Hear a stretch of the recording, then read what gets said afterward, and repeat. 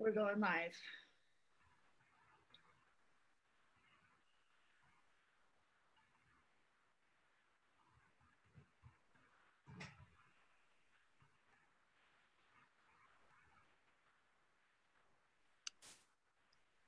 Yay.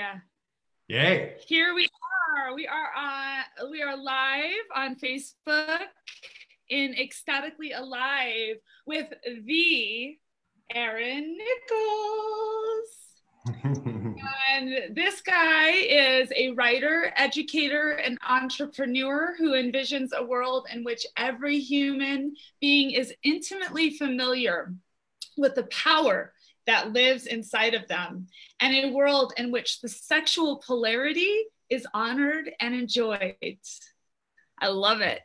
and um, Aaron also happens to be one of my best friends. We've been through many different chapters together, and I can truly attest that he is someone who walks his talk. I do my best. Thanks. hmm. So, Aaron, tell us um, today you are speaking on sexual self love. And can you just tell us how you came up with that topic? Yeah, well, you know, I mean, I've been investigating and practicing, exploring, researching, studying um, sexuality and psychology and metaphysics for a long, long time. And and intimacy. And I, I mean by, by that, both physical and emotional intimacy. And to me, it seems like relating, whether it's sexual or just, you know, through emotional intimacy, any kind of connection, really starts with our relationship with ourselves.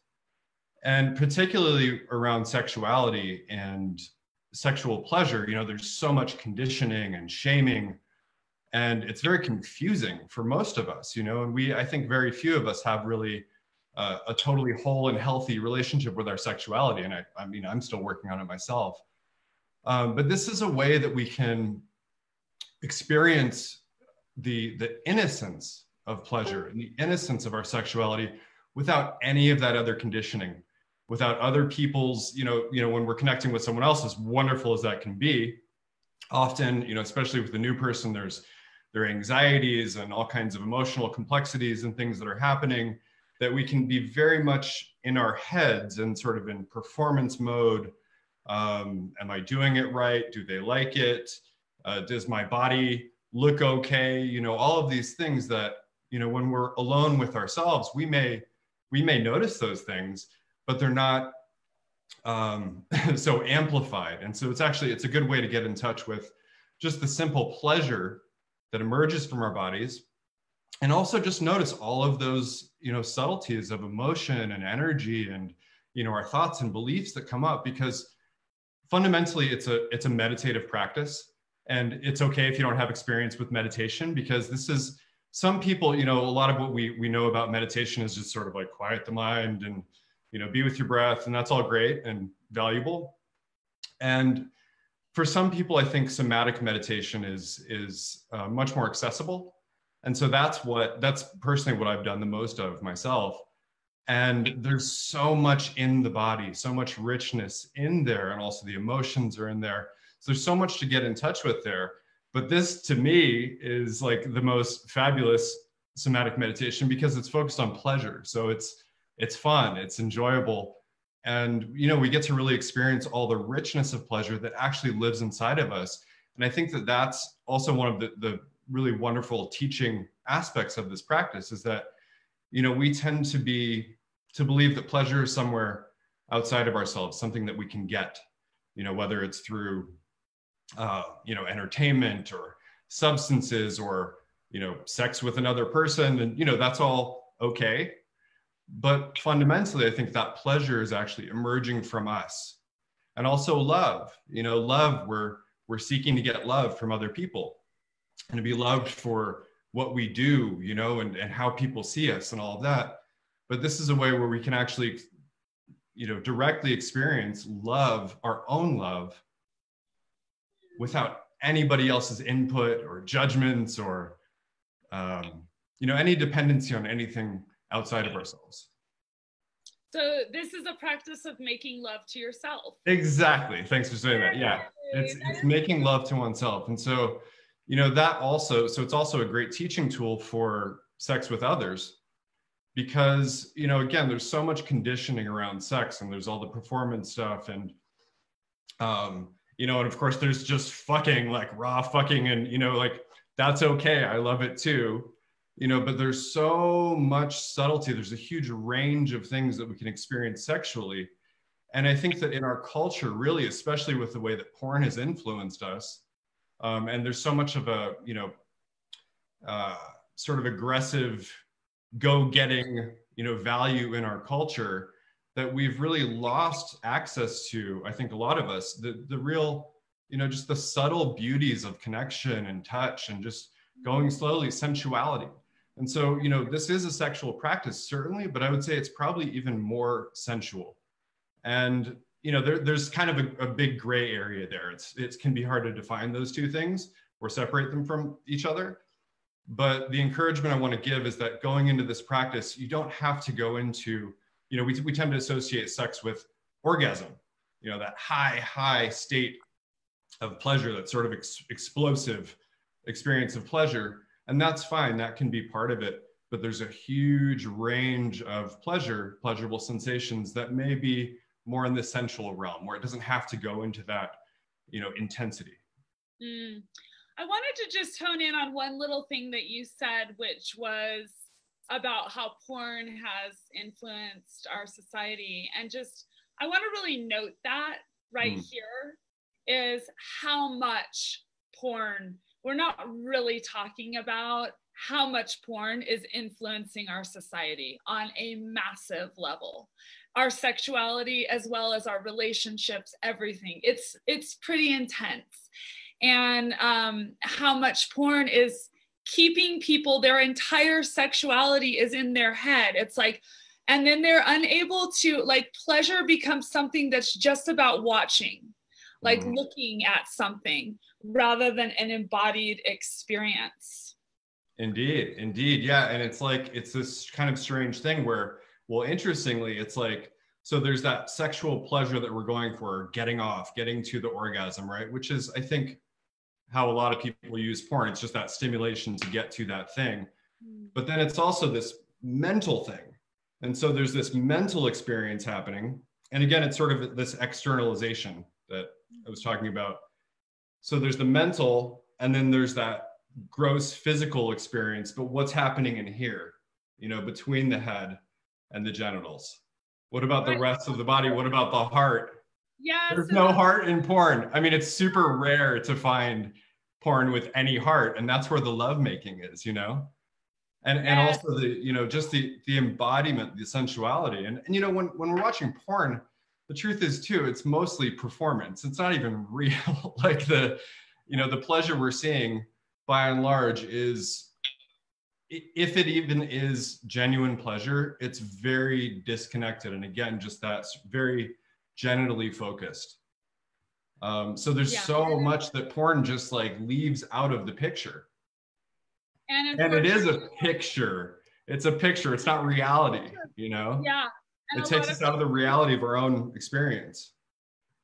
And this is unfortunately how a lot of people are learning about sex, which is really so it's sad. so sad. It's so sad. Right here. So tell us about more about this love-making practice. So you called it sexual self-love. I want to call it se- uh, self-love making. I love that. Yeah, I love that. Yeah, I think the um, it's all valid, and some people call this sort of practice mindful masturbation. I don't like the word masturbation personally. No. Um, some call it mindful self pleasuring, which I like more. But I do really want to emphasize that self love aspect because it is a way of directly giving oneself love. I love and, that. And as you said, love making, that's great too. I mean, I'm honestly not attached to what we call it. that's just the, the phrase I came up with. Beautiful, but can you so tell us about what the practice looks like? So what it looks like, um, one first of all, great thing about this practice is that you don't have to get it right.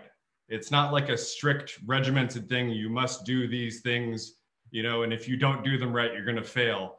Um, I'd say there's really only one very important rule, which even this rule can be bent a little bit if you have to, if you really have, feel like you have to go there.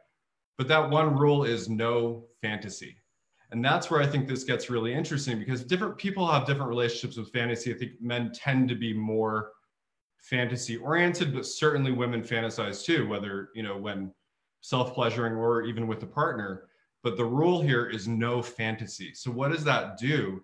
That means that you are focused on sensation and emotion and all of those those subtleties right mm. um, so i'll just kind of walk you through what the practice looks like first of all again this is a meditative practice and i think it really helps to bring intention to it and to create what i would call sacred space and for those who are not so spiritually oriented i just want to kind of redefine sacred so that it's not some sort of woo woo inaccessible thing well, hopefully it's more accessible this way.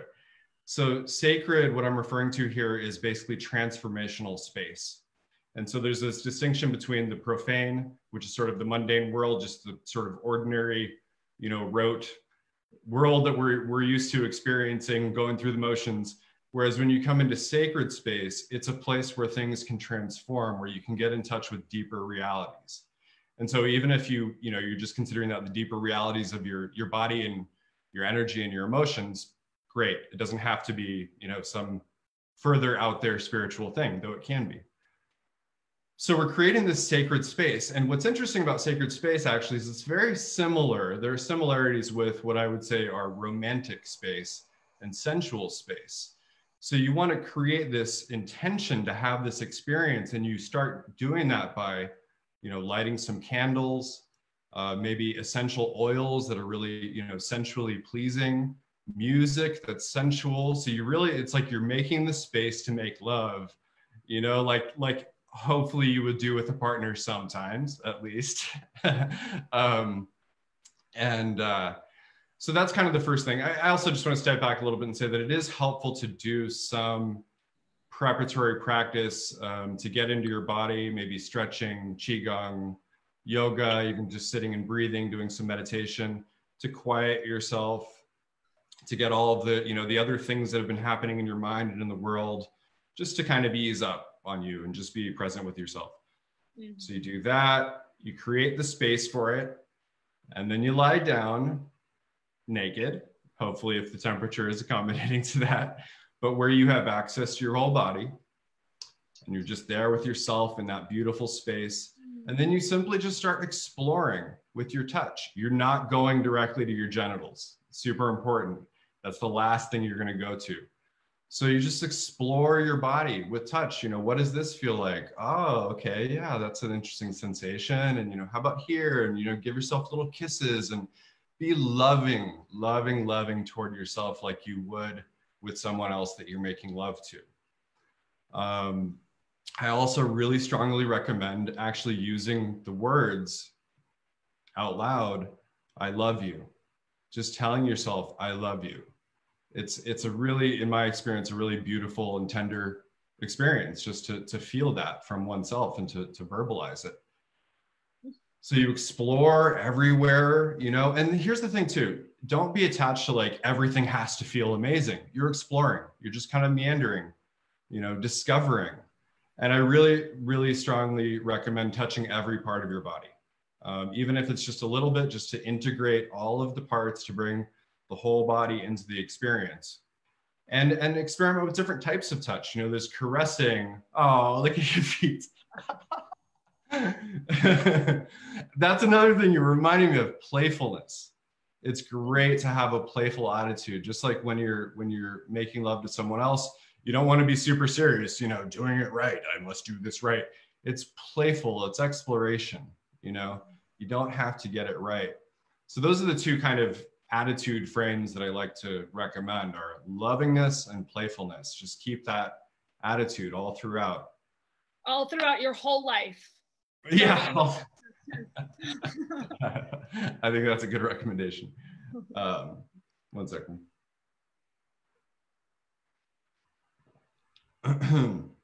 So you explore your body and and you can kind of you know again caressing fingernails maybe little squeezes experiment with those different types of touch.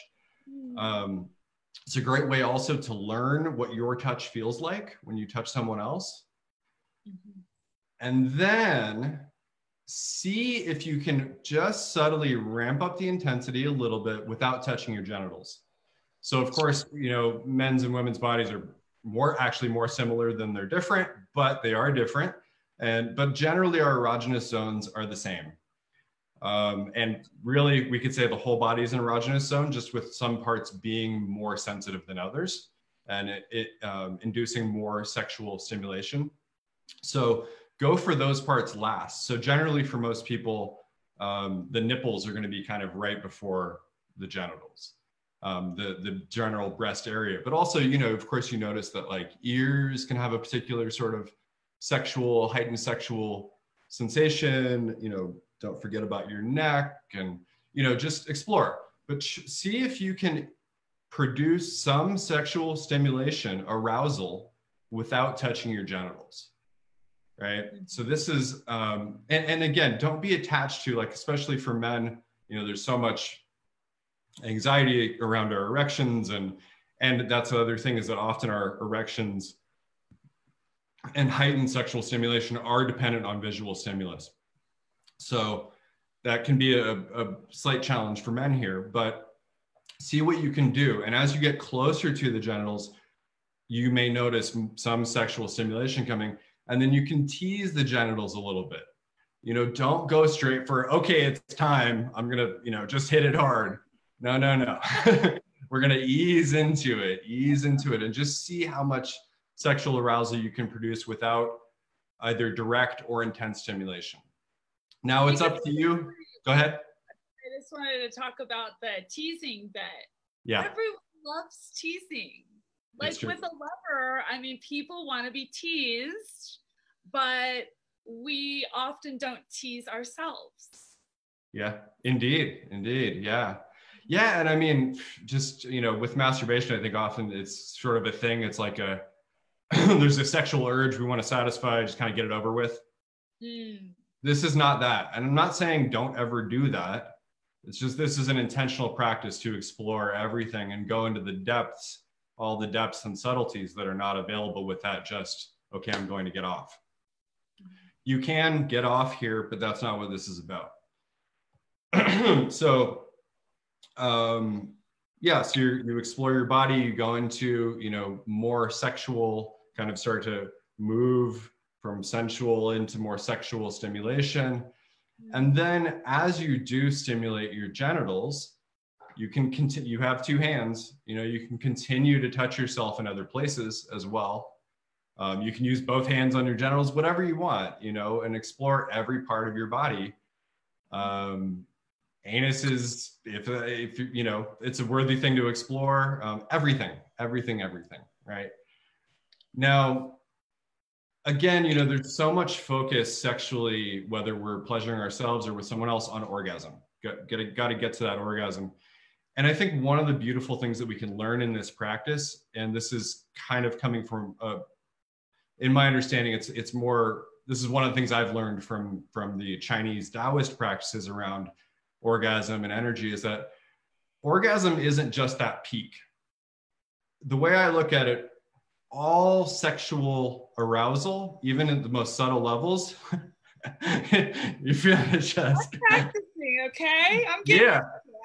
and actually, you're reminding me of another really, really great um, point that to, to bring up. But so, all sexual arousal is orgasm. It just comes to a point ahead where it sort of can be explosive, but that's not the only kind of orgasm either, because it can kind of come up to a high state and stay there and then come down and come back up and you know there, there are lots of different types of orgasmic experiences but the point here is that you can start to notice that as you become sexually aroused you are actually in a state of orgasm it's just that it has different levels I, I like to say that the best orgasms happen start to happen when we give up the idea of orgasm. Interesting. Yeah. Orgasm, like this peak, like so much of what makes sex really bad in the world is this focus on that getting to that peak rather than realizing that every moment is an orgasm indeed and actually interestingly um, you know wilhelm reich who is sort of a, a uh, scientist and luminary and multidisciplinary scientist that we're kind of not supposed to know about. Interestingly, he died in U.S. custody and um, you know had his laboratories and books burned, and you know he was really investigating orgasm quite a lot. He was very interested in it and energy, sort of biological energy in general. And his perspective was that all pleasure basically is orgasm, just in subtle ways, like all physical pleasure, and it's it's um, energy sort of moving to the surface. Whereas when we're in, in sort of the opposite of pleasure, we go into contraction and the energy comes in like this. And so that the, the orgasm is the expansion of the energy, basically, mm.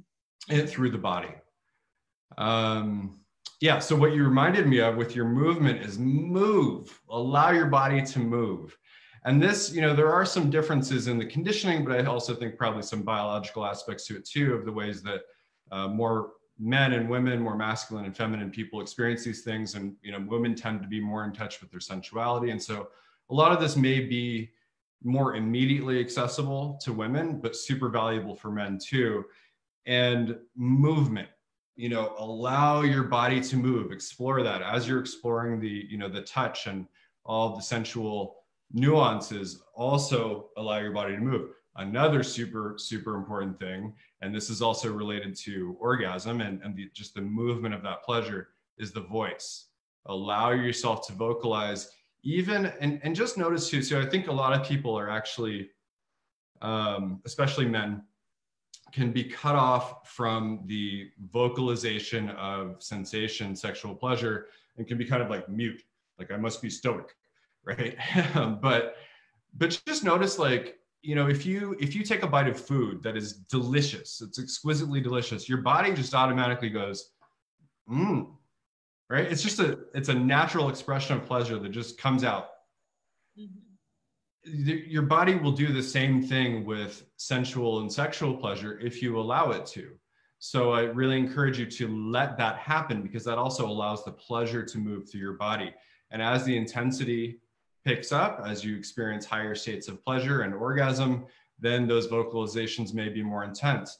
Another thing, you know, that we vocalize naturally is emotion. And so that's another um, realm of experience that's that's integral to this that we can be tuned into and allow to move and vocalize as well um, I have to say that, you know, I mean, I've done a lot of work around emotions, my own emotions, and just sort of like un, unclogging myself in that way um, over the years. And so, you know, I have no aversion to crying uh, personally. I, I, I, but this, like, it's, it's rare that I cry in gratitude, like, like such intense, and such an intense experience of gratitude are tears you're supposed to collect them because they're this like uh, the most powerful elixir if wow. you can actually get genuine gratitude tears they're they're made of like something very powerful. So maybe wow. you can get your gratitude tears and then put them on your and use them as some like lube. Nice. Lube that's another important thing to mention here. Um, but yeah or you know maybe just get them into your back into one of your orifices.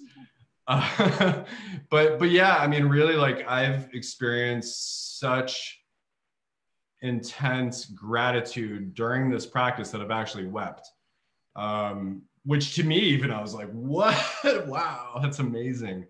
Because it's that fucking beautiful or it can be you know if you really allow yourself to surrender. is. Yeah totally exactly exactly yeah. Yeah and so you know and just to that point too it's it's um you know there are a lot of there's so many benefits to this practice and so many layers and levels that we can access through it. But one of the great things is that it actually is a great way to teach us as we mentioned before, you know, more about making love to others, because when we can access these these subtleties of sensation and emotion in ourselves and like develop a relationship with them it's easier to connect with them and others as well and and allow people to connect with those in us. Um, so you know and that being said you know there are you know even having that sort of awareness and, and experience like there's a lot of emotional psychological complexity when you come together with another person in any way but especially at the depth of sexuality. Um, and we sadly i think that's that's one of the things we miss is the opportunity for all of that um, the, the depth of relating because we are sort of in this you know mental place with sex. And again sort of missing out on often missing out on all of the um, the whole range of experience that's there. Mm-hmm. exactly. Yes.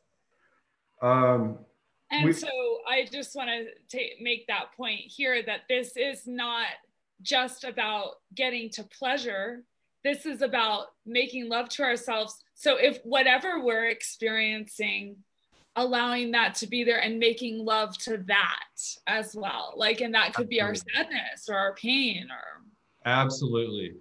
Yeah and that actually you know this is a little bit more of an esoteric part of this but it's something that um, through this practice i did myself learn a lot about polarity what we can call sexual polarity the sort of you know dynamic between the masculine and the feminine. And you know this can get very abstract and there's you know whole books have been written on these topics and um, but you know there is I, I kind of see it in, in a number of ways where like in a way you know the masculine is is kind of creating this structure and having creating a space for experience for the feminine experience for all that movement to happen.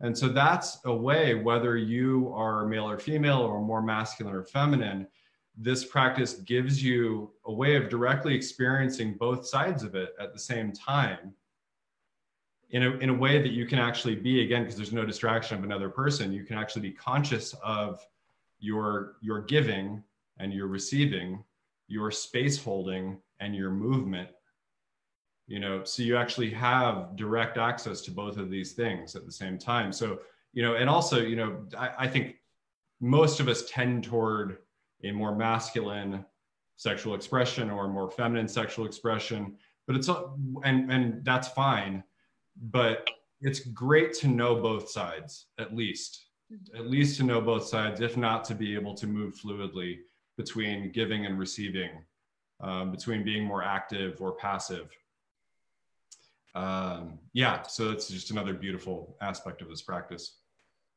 i love that mm. wow ah, let's take a deep breath in and just like tune in just a minute with ourselves. Ah. Hmm.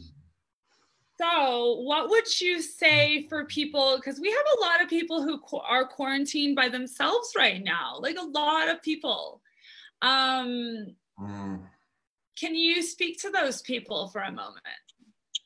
First of all, I love you and I've been thinking about you. And yeah just feeling i mean the the the the need for human contact is is real you know and um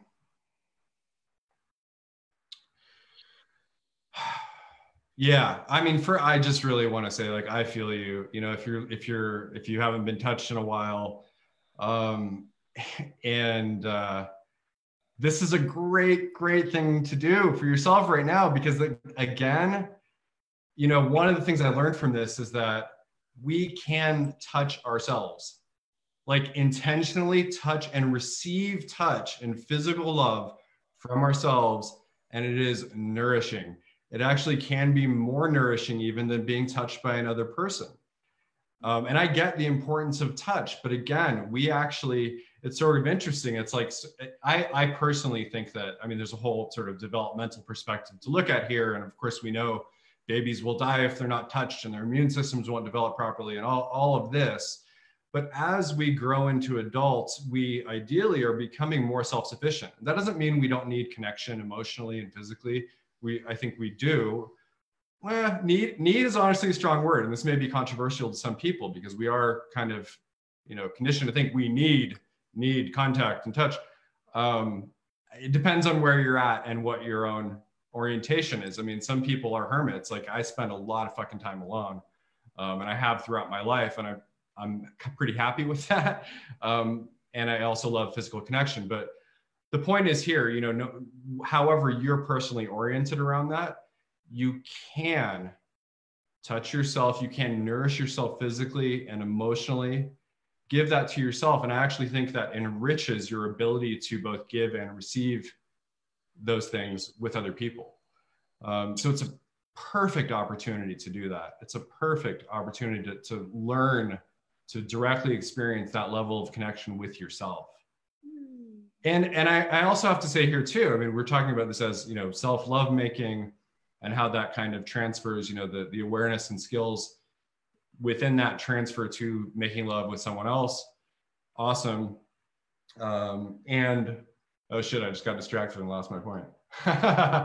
um,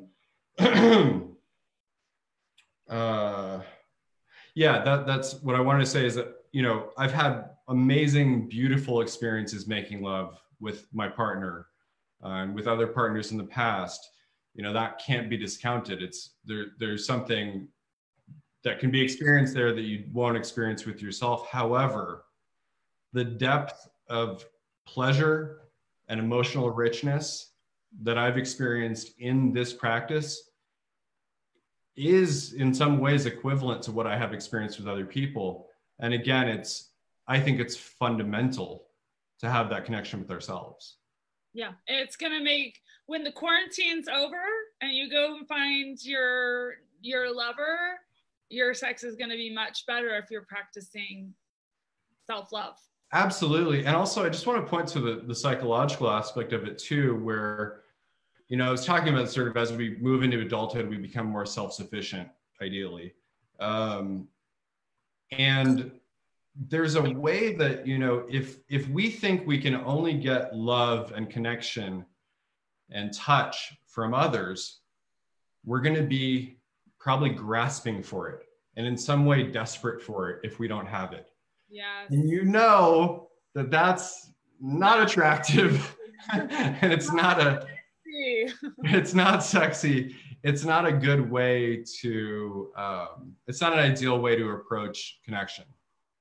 Um, and so if we're resourced in ourselves, our cup, our own cup is self-fulfilled, then we have so much more to give and we don't need, it's like, yes, it's great to receive. It's, it's wonderful. And it's actually hard for a lot of people to receive, which is another thing this practice can teach because you're learning to receive from yourself. But when you, you know, don't need that connection because you are connected with yourself, then your connections are going to be way better. Beautiful. And can you just speak a little bit about um, how it helps you to receive from others? Like, how does that? Yeah, yeah, that's a good question. Um, well, again, I think it goes back to the, you know, the the fact that when you're doing this practice, you are both giving and receiving. Mm. And so, you know, a lot of people, again, like people tend to be more givers or more receivers. I think very few people are just sort of equally balanced between the two sides, and that's okay. You know, we can have a tendency, and uh, there's no real problem with that. But people who tend to be givers tend to have a harder time receiving. And there's a lot to that. I actually have been like this and had to explore it. Um, and there's actually kind of a control aspect to that because it's vulnerable to receive. Mm. It's vulnerable. Um, we we have in a way it's surrender. You know, surrendering to being receptive. Um, and there's no should in this. Sometimes it's not safe to surrender.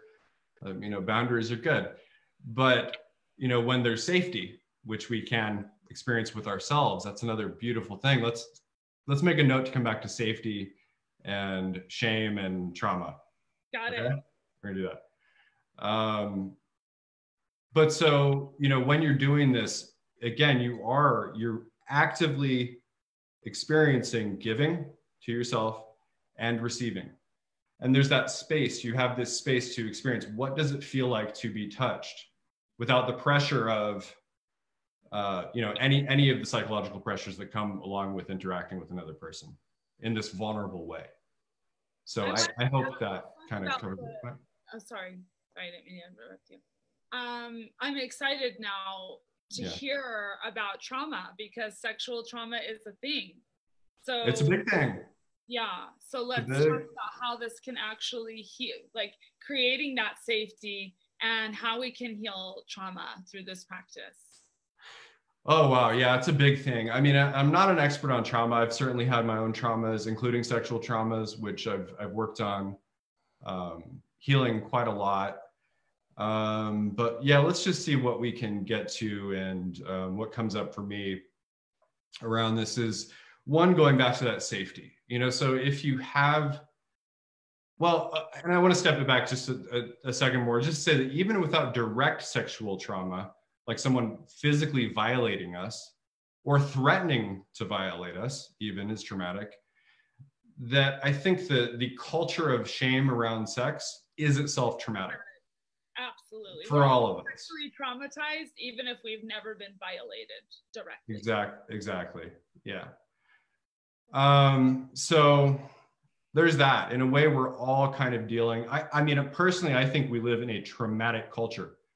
We're traumatized in so many ways, including just around touch that isn't sexual. I mean, it's a huge, huge topic to unpack. But um, so, but then let's bring in, you know, having having directly been sexually violated. Um, that kind of, you know, that can create a a scenario where, or I think it generally does create a, a scenario where when someone, when you come into sexual engagement, there is a remembered threat in the body, you know, of like that this isn't safe. And so some people may sort of just run away from that and sort of avoid what may be unsafe situations, but other people just cut themselves off from feeling, you know? and maybe they're looking for love through sex but they're not going to feel anything physically or you know emotionally or you know we, we all may deal with these things in different ways but there's a general unsafety that is created by trauma. And so i do think that this practice can give you a safe experience of sex where it's it's completely safe. You know no one uh, you're not going to hurt yourself right? I trust you not to hurt yourself you know, and I, I hope you do too. Um, but it, it, I think it can help to sort of repattern the experience of pleasure where you know and another thing that i think happens with sexual trauma in particular is again there's that sort of dissociation that can happen being cut off from feeling even sensation um, and uh, this is a also so this is, we're seeing this as a meditation. So if you notice your mind disassociating, you come back. Very, yeah, yeah, excellent point. And, um, and even, you know, I mean, as with any meditation, it's like our minds are busy and, you know, some shit comes up that happened on Facebook earlier today or, you know, whatever, like it's the okay. thoughts will come in. What's that? It's okay. It's, it's okay. Yeah, exactly. It's okay. I mean, it's, that's always going to happen. And so it's just a, you know coming back to presence oh i noticed that happened great and in this in this case in this meditation you're coming back to sensation mm. uh, so yeah i mean i think uh, yeah there's so much around trauma the dissociation from our emotions from sensation and so this is a way to in a very safe way to reintegrate the parts that have been cut off to reintegrate the ability to feel both sensation and emotion. Mm. Um, and I also think that it's it's a I do think that there's a tendency, and people respond to, to various traumas in different ways, but I do think there's a tendency for a lot of people who have been traumatized to to keep ending up in situations where they're violated. And this is not in any way a blame thing. I think it's a conditioning thing. It's a patterning thing and basically allowing their own boundaries, their own needs and desires to be overridden because that's what they were basically taught to do in mm-hmm. some way. And, and I think through violation, we often learn my desires don't matter, you know, and, and my, my pleasure doesn't matter. Um, and yeah, it, it's a complex territory again, but um, I do think that this is a way also that we get in touch with what actually does feel good to us, you know, and so we're aware of like, oh, that like if we end up in a situation with someone where something doesn't feel good, it's more noticeable because we actually know what we want to feel. Yes. Right? And so then there's a, and again, it's through self love as well, you know, experiencing that like I'm worthy, I'm worthy of pleasure. Mm. Um, you know, and so that I just think can be can be strengthening in that way that we become less susceptible to being violated and and having our desires overridden. And i wanted to just talk about sexual shame and body image and how many people even the most gorgeous people with gorgeous bodies healthy everything is just like there is just so much shame around our bodies. Absolutely. And um and so taking this time to love your body and accept your body and work through all of those places. Because if you're going into sexual experiences with someone else feeling that your body's disgusting and all of this shame it's so it just eats away any pleasure and fun and joy and happiness and yum. And so we're taking the time to work through that with yourself and like loving your body and of course like doing what it takes to have a healthy body for sure and spending the time through this practice loving and accepting all parts of your body. Absolutely. Yeah it's a great point. And um, i do think i mean there's so so much conditioning and you know traditionally it's been more for women like this is how you should look. And of course if you look over decades it's it has changed. You know there's no absolute like way you should look but currently there's always you know a, a, sort of preferred body image that is sort of pushed on you. But this actually happens for men now too throughout my lifetime. You know there's there are all these men's magazines even just um, you know in the 80s with the advent of steroids it's like this whole like this is what a man should look like. So it's now everybody what's that? And cock size. Cock size too with especially with porn. Yeah. Totally. Yeah yeah um, so we're all have kind of bombarded with these images of what we should look like. And then maybe someone made a comment at some point that hurt us. And, you know, one little comment can get in there and create this whole complex of, of shame and, you know, wrongness in ourselves. Um, so that's a lot to to deal with for anybody and i think most of us are dealing with that in some way like you said Shezza.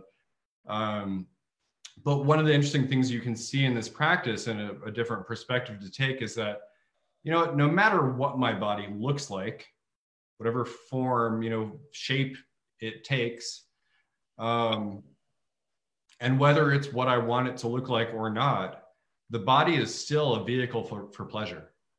Um, it's a vehicle for a lot of things, you know, for consciousness and whatever we're doing in the world. But I mean, these bodies are pleasure vehicles. Ple- pleasure vehicles, and it's and pleasure, pleasure spaceships.